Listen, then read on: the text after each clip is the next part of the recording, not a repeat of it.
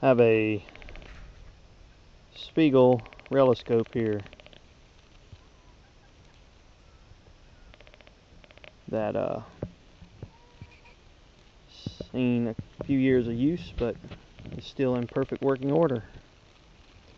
It has some paint scuffs but, but other than the paint scuffs the instrument itself is operating like new. It's your little uh, sun shield aids in viewing and high sunlight. Can still be threaded and mounted.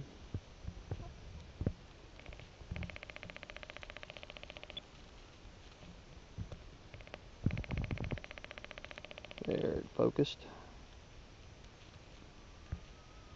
Like I said, it's got a couple little, well, it's kind of scuffed from use on the paint, but that's to be expected in things made for field work. And it operates quite nicely. The uh, little clicker on the front that controls the motion of the internal dials. You can see the spring action on it still in perfect working order.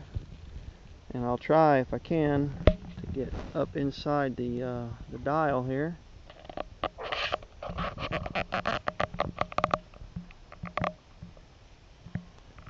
But that's me clicking it. Slow the dial the thing works beautifully. It's uh